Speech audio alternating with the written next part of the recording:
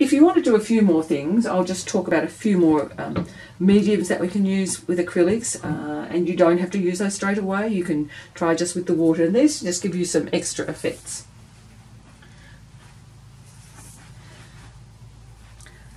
So I've got, got the interactive paints, which I love because they take longer to dry and you can work back into them.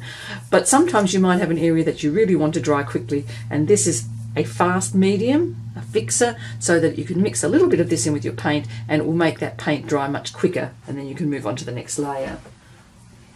Of course, acrylics are much quicker drying than oil paints, which is one of the things I love about them. This is an unlocking formula and so if you've got one of the interactive paints, the golden or the Atelier, you can use this mix, it's just sprayed onto an area or, or put on with a brush and it will allow you to lift off the paint or to unlock that paint so that you can work back into it again. And that can be quite handy sometimes, but you can see by how full the bottle is. I don't use it very much. This one's a liquefying medium and it just makes your paint much thinner and more easily to move around. It really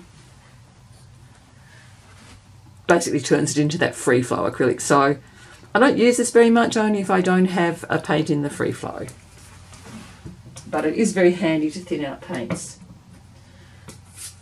Something that I do use quite a lot is a gloss medium.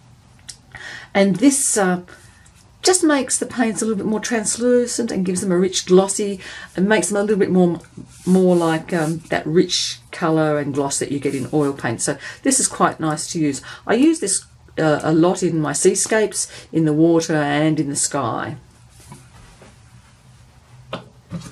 I use it so much that I have a big jar of it and this is the golden uh, acrylic glazing liquid and I really like that. It just gets mixed in with the paint uh, on your palette and then applied in whatever way you normally apply it.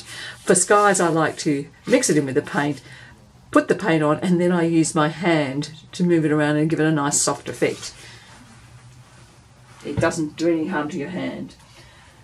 This other jar here is, is Primo, Gesso Primo, and Primer, and this is used to put a, a sealing coat on whatever surface you're going to paint on. So if you're painting on paper, you don't need to. But if I'm preparing a masonite board or a, Uh, an MDF board for painting, I will use that. Most of the canvases that you buy pre-stretched are pre-primed with three layers. Sometimes you might want to get a much smoother surface, so you just put another layer on, let it dry, sand between, and keep layering till you've got the, the smoothness that you want on your canvas. If you're buying very cheap canvases, it's a good idea to have some of the gesso and, and apply a couple more coats because it does help the canvas not to absorb the paint so much which can happen with the cheap canvases.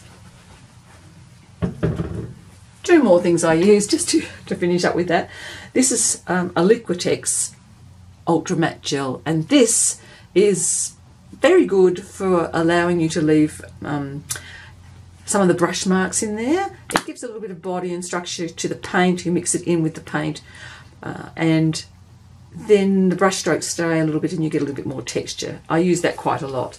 Uh, I like to use it too with um, when I'm doing palette painting, palette knife painting. And here is another one. This is the Liquitex Flexible Modelling Paste. So you can trowel that onto your canvas or uh, put it on in, in just one area or two areas, maybe underneath some rocks or some vegetation, or you can um, use it, sort of paint with it with a palette knife to make a mountain range, and then you can paint over it or you can mix your colours into it. And you can apply it to parts of your paper or your canvas or all over it in a random pattern to get different textures. So it's quite a good texturising agent.